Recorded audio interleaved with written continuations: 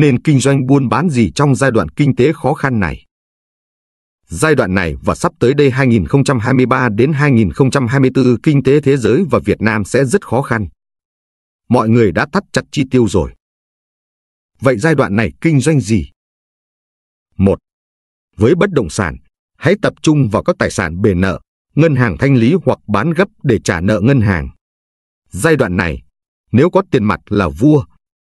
Lựa chọn thời điểm thích hợp như World Cup hay cuối năm nay để gom vào giá hời. Bởi vì cuối năm, từ tháng 12 năm 2022 đến tháng 1 năm 2023 người người đáo hạn ngân hàng. Ngân hàng đang siết zoom tín dụng. Chắc chắn nhiều người gồng không nổi, sẽ phải thoát hàng. Khi mà nhà nhà bán ra thì giá sẽ giảm xuống thôi. Còn đâu là đáy thì không nói trước được. 2. Lựa chọn các ngành hàng ưu tiên để kinh doanh giai đoạn này. Cụ thể, các mặt hàng nhu yếu phẩm của con người phục vụ các nhu cầu cơ bản sẽ luôn tồn tại như ăn, mặc, thuốc men, học hành. Hãy thay đổi làm sao cho tối đa hóa được giá bán lẻ. Các lĩnh vực dịch vụ sẽ phát triển, vận chuyển hàng hóa, bán hàng online, công nghệ, dịch vụ tài chính, sức khỏe tâm thần.